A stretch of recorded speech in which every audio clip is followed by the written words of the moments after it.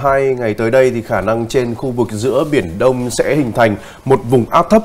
Đến thứ hai và thứ ba tuần sau, dự báo vùng áp thấp trên khu vực giữa Biển Đông khả năng sẽ mạnh lên thành áp thấp nhiệt đới, thậm chí có thể mạnh lên thành bão với xác suất khoảng từ 60 đến 70%.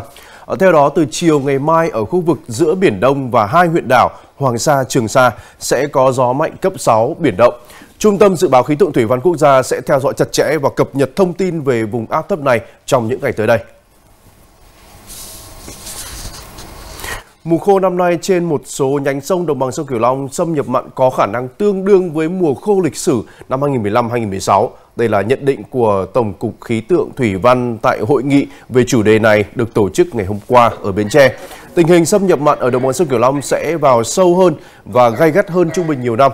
Tổng lượng dòng chảy trong những tháng mùa khô từ thượng nguồn sông Mekong về hạ lưu và đồng bằng sông Cửu Long có khả năng thiếu hụt từ 20 đến 25% so với trung bình nhiều năm. Những ngày cuối tháng 9 đầu tháng 10 ở hạ lưu sông Mekong có khả năng xuất hiện một đợt lũ nhỏ. Và theo dự báo mới nhất thì xâm nhập mặn có thể đến sớm từ tháng 12 và gay gắt trong giai đoạn tháng 2 đến tháng 5 năm sau. Trước đó thì từ nay cho đến tháng 11 vẫn sẽ còn mưa, người dân cần chủ động dự trữ nước. Hơn 4.500 ca tử vong liên quan đến nhiệt độ cao ở vùng England của nước Anh trong năm 2022. À, đây là dấu hiệu cho thấy sự gia tăng số ca tử vong liên quan đến thời tiết nắng nóng. Nước Anh ghi nhận ngày nắng nóng kỷ lục vào tháng 7 năm ngoái vượt quá 40 độ C.